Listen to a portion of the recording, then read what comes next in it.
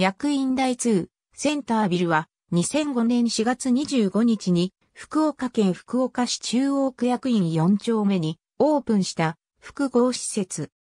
役員を大通り西地区市街地再開発事業により整備された。この施設内にはスーパー、ドラッグストア、クリニック、オフィスなど地域の生活に密着したテナントが入居している。また、高層階は高齢者施設や賃貸住宅などとなっている。さらに、地下2階には地下鉄7区間線の役員台通駅との出入り口があり、交通アクセス面も考慮されている。このビルの北側、及び西側は公開空地となっており、公共の広場となっている。施設は2つの建物からなり、下層部では建物間が連結、上層部では建物間が分離している。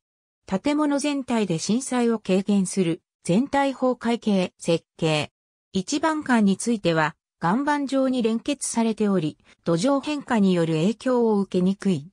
二番間については岩盤まで奥井を通すことで一番間同様の耐震性能を得ている。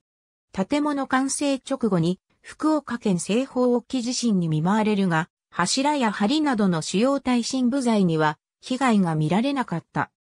防災アセスメント調査報告書、警護断層の調査結果、都市再生機構にインタビュー、役員大通センタービルにおける耐震について、アビタシオン浄水、2021年7月18日閲覧。ありがとうございます。